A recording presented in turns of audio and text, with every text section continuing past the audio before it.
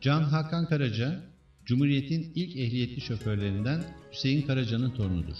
Hüseyin Karaca'ya soyadı, Türk kuşunun kurucularından Atatürk'ün silah arkadaşı Fuat Bulcan'ın yanında çalışırken Mustafa Kemal Atatürk tarafından verilmiştir. Can Hakan Karaca 1964 yılında Karabük'te doğdu. İlk ve orta öğrenimini Karabük'te tamamladı. Karabük Endüstri Meslek Lisesi'nden 1981 yılında mezun oldu. 1982 yılında Trakya Üniversitesi Mühendislik Fakültesi Makine bölümünü kazanarak Edirne'ye gitti.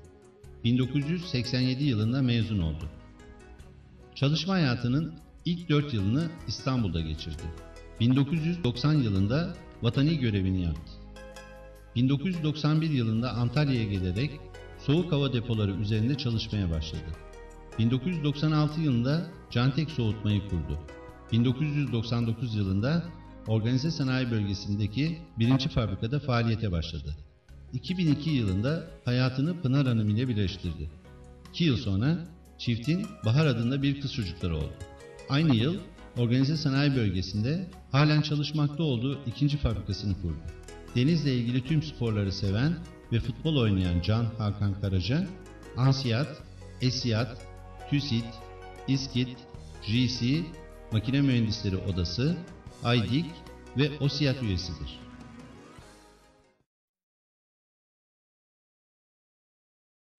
Antalya'da bu işe başlamaya nasıl karar verdiniz? Ben hayatta tesadüflere ve vesilelere çok fazla inanırım.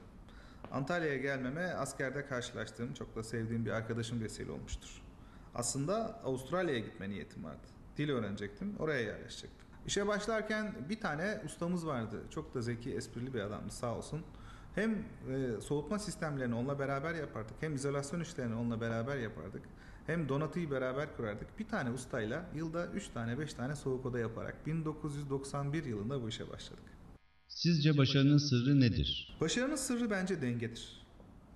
Bir de yaptığınız işin her bir kısmını, her bir parçasını en alt standardın üstünde yapacaksınız.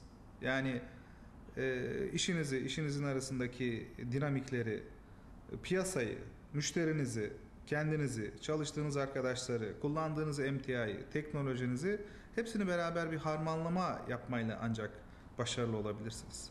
Başarının sırlarından bir tanesi de kendini iyi ifade etmektir. Yaptığın işi, hayatını, derdini doğru ifade etmek çok önemli. Turizm şehrinde sanayici olmak nasıl bir şey? Turizm şehrinde sanayici olmak çok zor. Şehrin bütün dinamikleri, kültürü, turizm ve tarım üzerine kilitlenmiştir.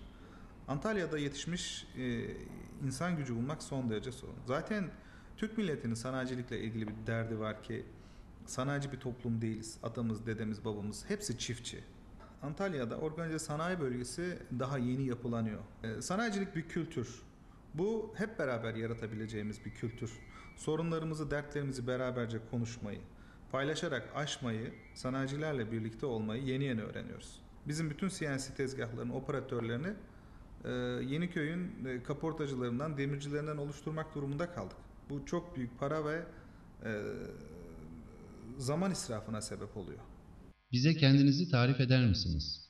Tipik kova burcuyum ben. İlkokul hocamın bir e, tespiti var ki bütün hayatımı şekillendirmiştir. Karnemde aynen şöyle yazıyordu. Birinci sınıf karnemde aynen şöyle yazıyordu. Zeki, akıllı fakat heyecanlı oluşu daha başarılı olmasını engelliyor. Bu laf benim bütün hayatımı betimlemiştir. Bu heyecan hem başarımın hem başarısızlıklarımın ana kaynağı olmuştur. Mühendis gibi düşünürüm, mühendis gibi davranırım, mühendis gibi ölçer biçerim. Yaratıcı tarafımı sanırım annemden aldım. Bir şeyi yeniden tasarlamak, daha özgün bir hal katmak, daha faydalı bir tarafını ortaya çıkartmak, daha faydalı taraflar eklemek e, beni her zaman heyecanlandırmıştır. Çalışma saatlerimin çoğunu tasarım atölyelerinde geçiriyorum.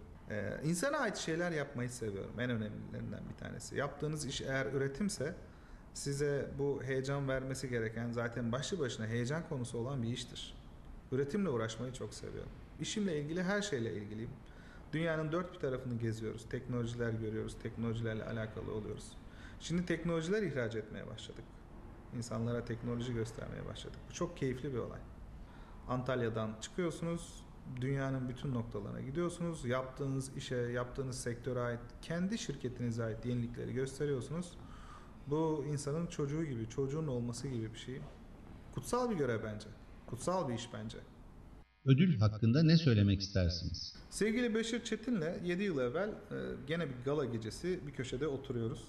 Yılın iş adamını anons edecekler.